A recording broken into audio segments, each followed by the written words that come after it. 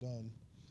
Um, you know, the, the last thing, we're not going to really go into detail about it this summer, but uh, uh, this summer, this class, uh, uh, in this class, but be aware that you can also have a thermal effect, right? So we've talked about poroelasticity where uh, you have your, your normal stress tensor and then you subtract off the effects of the pore pressure and the Biot coefficient. But you can also have effects due to temperature, right? So in this, in this case, K is the bulk modulus. Uh, alpha T is the coefficient of thermal expansion, so it's a material property. Basically, it's, it's how the material will, you know, it's a function of how the material will expand given when it's heated up, okay? And then delta T is the change in temperature.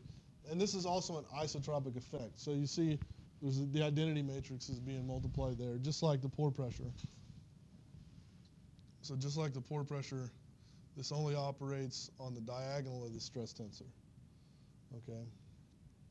And you know th this this this can be uh, can be uh, you know in in reservoirs the temperature you know especially when you're drilling uh, you can have a considerable sort of uh, temperature difference or change in temperature that can cause large expansions or contractions of the rock, which can then lead to, you know, the stress changes lead to failure.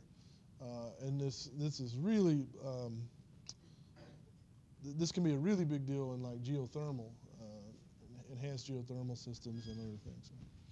So we, we won't really talk about it in this class, but just be aware of it, um, that, you know, for, for a full geomechanical characterization or a complete model, you'd really have to consider, at least think about whether temperature effects are going to be important or not.